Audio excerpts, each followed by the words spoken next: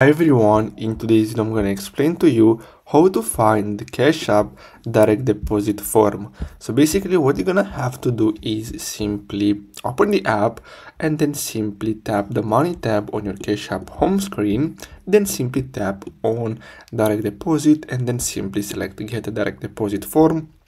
And then you're to have to simply fill out uh, all your information. Now if you want to get access to this form on your computer what you're gonna have to do is simply log in into your account on cash app. So you're gonna have to simply go and log in.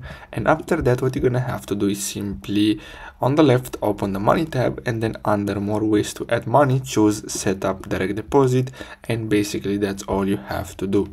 So i really hope you found this video helpful. Don't forget to like and subscribe and i'll see you in the next video. Thanks for watching guys